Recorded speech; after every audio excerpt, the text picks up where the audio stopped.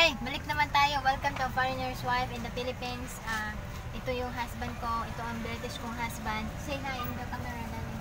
Hey Yeah. there. Yeah, hey there. Yeah, so, ito yung husband ko na foreigner. British siya. Tapos, ah, sa lahat, mag, magbablog na ako araw-araw. Mag, magpo-post na ako ng, ah, ng video araw-araw. Kasi nakabi, ah, bumili ako ng bagong phone ko para la, para sa vlog ko. Kasi yung yung phone ko na iPhone ah ginagamit yun. All the ah, lahat ng account nandoon is is the, ah, my husband's channel a partner in the Philippines. So I cannot I cannot log in and then log out and then upload something and even in the laptop. So and it's easy for me if I ha, ah, just realize na mas madali para sa akin na mag-upload araw-araw pag, pag may phone ako na intended sa channel ko and at the same time para din sa Facebook account ko. Pero huwag kalimutan na foreigner in the Philippines, magandang vlog niya. right?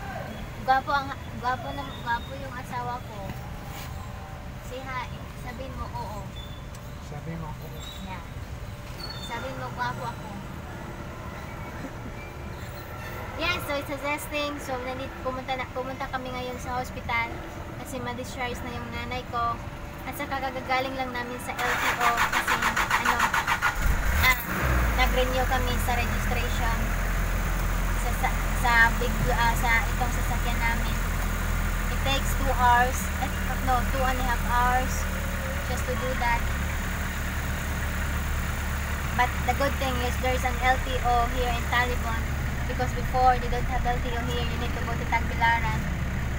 So now they really uh, they really accommodate uh, LTO here for the province area. Yeah, so ganito saya-saya buhay. Ito yun, may Jollibee na, yun yung Jollibee doon. Saka may ah, masarap, masarap ang Jollibee favorito kong Jollibee kaysa McDonald's. Pero ngayon, hindi mo na kami kakain ng mga mga Jollibee.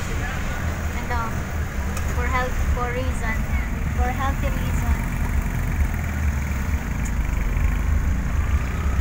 Darling, I need, can you, can you drive there because we're going to the post office if you have some, uh, if you have, if you have, ano, uh, letters there.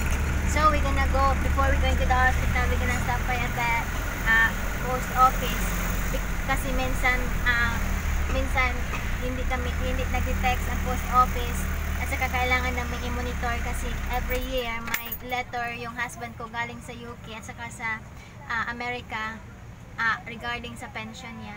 Kaya kasi may pag may limit lang na weeks na pwede mo iano yung pension mo pag hindi ka na pag hindi mo na inform sila na buhay ka ititigil nila. Kaya ganun ganino ganun. Ganun na lang namin uh, every first month of the year or second month we really uh, checking out if there's a po- uh, if there's a mail from the pension pension center. Yeah so again have a good day. This is a testing of my new camera. It's very good and so far so good. But you know every day I'm gonna upload the videos. It's Tagalog it's Taglish Tagalog and English for my subscribers say bye bye darling. Bye. S- play, say subscribe. So don't forget to like, comment, and subscribe.